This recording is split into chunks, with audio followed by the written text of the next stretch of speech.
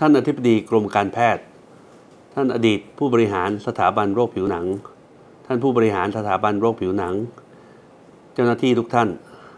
ผมรู้สึกเป็นเกียรติอย่างยิ่งที่ได้มาเป็นประธาน ในงานวันสถาปนาสถาบันโรคผิวหนัง ครบรอบปีที่ 50 ในวันนี้ และเนื่องจากวันนี้เป็นวันครบรอบ 50 ปีของการก่อตั้งสถาบันโรคผิวหนัง ผมจึงขอแสดงความยินดีที่สถาบันแห่งนี้ได้ก้าวเข้าสู่ปีที่ 50 อย่างเต็มภาคภูมิและสมเกียรติ ตลอดระยะเวลาที่ผ่านมา โรคผิวหนังเป็นโรคหนึ่งที่เป็นปัญหาสาธารณสุขของประเทศ แม้ว่าโรคผิวหนังส่วนใหญ่ไม่ทำให้ผู้ป่วยถึงแก่ชีวิต แต่ก็เป็นโรคที่สร้างปัญหาด้านสังคม เศรษฐกิจ และการมีคุณภาพชีวิตที่ดีของผู้ป่วย การดำเนินงานที่ผ่านมาของสถาบันโรคผิวหนัง ทั้งด้านการบริการตรวจรักษาโรค ให้แก่ประชาชน ด้านวิชาการในระดับประเทศและนานาชาติ จึงเป็นการแก้ปัญหาโรคผิวหนังแก่ประชาชน และช่วยลดปัญหาด้านสาธารณสุขอีกทางหนึ่งด้วย และจากสถานการณ์การแพร่ระบาดของโรคโควิด -19 สถาบันโรคผิวหนังยังได้ทำหน้าที่ที่สำคัญยิ่ง ในการดำเนินการให้บริการช่วยเหลือประชาชน ให้ได้รับการฉีดวัคซีนโควิด -19 อย่างทั่วถึง ทั้งคนไทย คนต่างชาติ คนต่างด้าว ในเขตพื้นที่กรุงเทพมหานคร และปริมณฑลตลอดจนพื้นที่จังหวัดใกล้เคียง ซึ่งเป็นกลุ่มที่ต้องได้รับการสร้างเสริมภูมิคุ้มกันโรคอย่างเร่งด่วน โดยให้บริการฉีดวัคซีนมาแล้วกว่า 5 ล้านโดส ในนามของ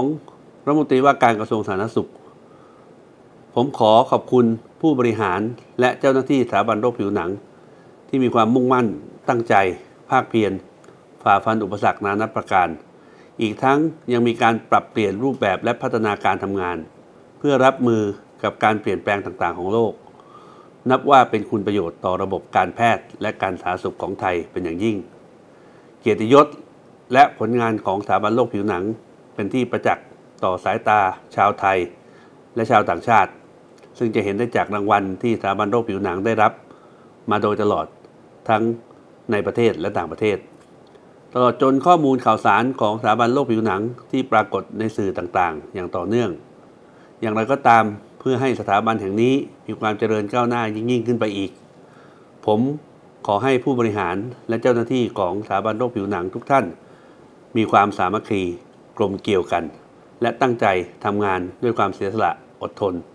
เห็นแก่ประโยชน์ของส่วนรวมเป็นสำคัญ สุดท้ายนี้ผมขออารัธนาคุณพระศรีรัตนตรัย และสิ่งศักดิ์สิทธิ์ทั้งหลาย ได้โปรดอำนวยอวยพรให้ผู้บริหารข้าราชการ และเจ้าหน้าที่สถาบันโรคผิวหนังทุกท่าน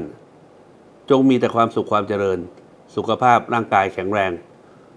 มุ่งมั่นพัฒนางานสาธารณสุขของไทยให้มีความเจริญรุ่งเรือง เพื่อประโยชน์สุขของประชาชนและสังคมสืบไป ขอบคุณครับ